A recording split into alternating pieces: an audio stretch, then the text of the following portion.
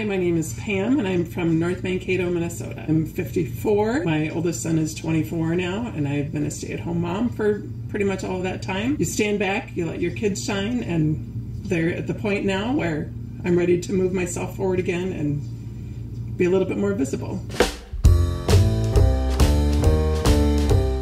I'm six foot one, so I'm a little bit hard to miss. You feel like the people are just kind of like working around you and don't even notice that you're there. Something, you know, just I don't know, to look a little more fresh. I don't have a style. It's just growing. I need someone with a vision, and he's the guy to do it.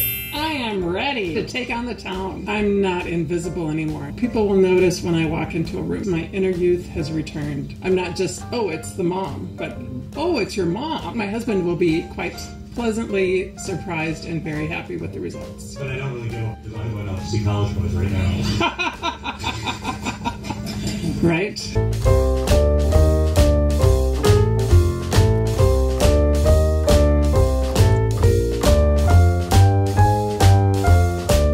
If you think this was a great video, please click the subscribe link right below and you'll see lots of great content. This was an amazing experience.